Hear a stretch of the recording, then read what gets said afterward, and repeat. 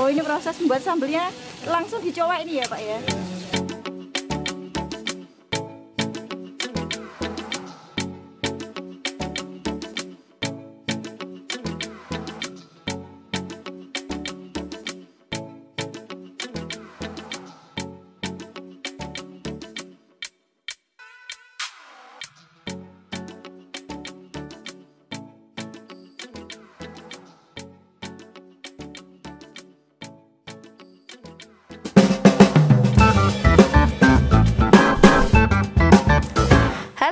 Kali ini aku ajak kalian kulineran lagi ya di Belut Blukuduk Bojonegoro. Nah untuk arahnya kalian bisa mencari rumah sakit Sumberjo atau Telkom Sumberjo. Ke arah utara ada Indomaret pertama. Maju ke depan sedikit ada sekolah. Tara belok ke kanan menuju Desa Pesen. Kalian bisa langsung lurus aja mentok. Nah ini dia. Warung belut tongseng blukutuk Pak Edi. Satu-satunya dan tidak buka cabang di mana pun. Buka setiap hari kecuali hari Rabu ya. Nah pasti kalian juga penasaran kan gimana cara proses pemasakannya dan sejarah warung Blekutuk ini? Yuk ikuti terus wawancara dengan Pak Edi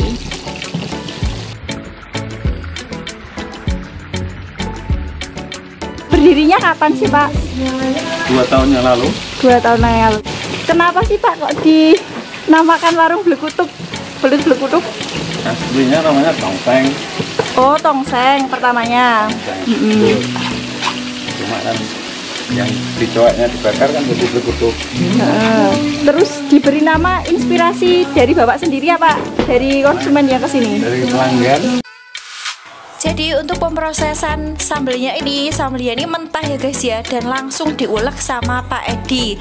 Setelah itu ditaruh di atas cowek lalu digoreng seperti ini ya. Jadi baunya bau khas panggangan itu sedep dan enak banget.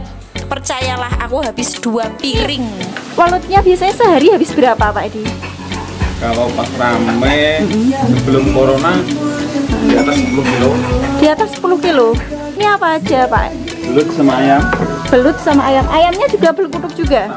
Oh sama belekutuk nah gimana? Sambelnya udah bikin kalian gemecar kan guys? Kali ini aku mau nyobain langsung. Gimana rasanya? Uh ini sudah gemecar banget Nah ini dia belut belukuduknya sudah jadi. Jadi proses belukuduknya ini karena tadi habis dibakar di atas kompor dan masih dalam keadaan panas banget ya. Jadi dia langsung belukuduk-belukuduk kayak umop melalui minyak. Jadi ini eh, harus diadu-adu ya supaya pinggirnya tidak gosong-gosong.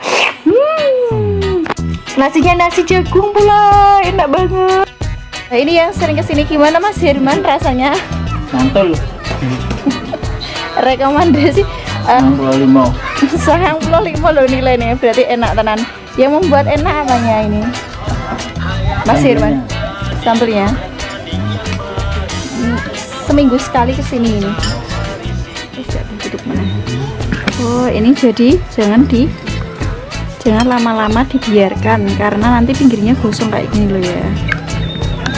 Jadi kalau mau makan segera dimakan karena kalau tidak pinggir-pinggir gosong. Sebenarnya nggak apa-apa ya kan sambelnya mentah.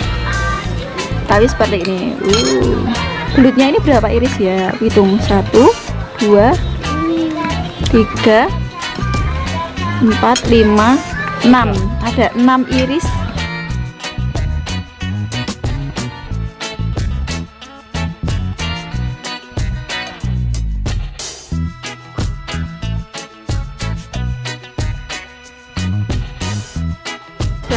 banget ini dia belut belut kutuk. Ini sebenarnya panas banget tapi aku tahan. Jadi kalau kalian ke sini bisa pesen ini tapi jangan dibiarkan terus ya nanti pinggirnya gosong-gosong nah kita mau coba gimana rasanya? Ini nasi jagung. Ini sambelnya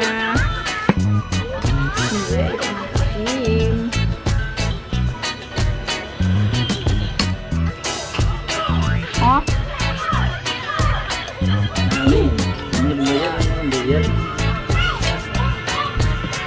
Enak ini sambelnya oh, iya. ini dia.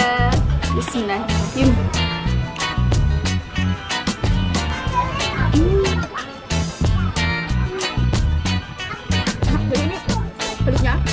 Bisa dimakan sama gurinya baru lagi ya? Ini sambelnya nggak terlalu pedas jadi sedengan buat dimakan.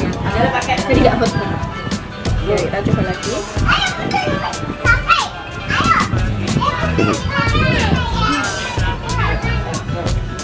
Hmm, ini aku tinggal beberapa suapan aja. Ini sambelnya kalian gagal juga bisa karena nggak terlalu pedas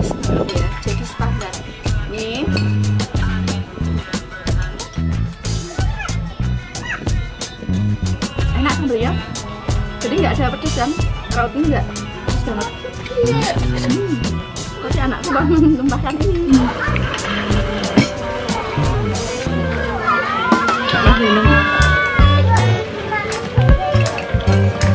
udah habis. Kurang banyak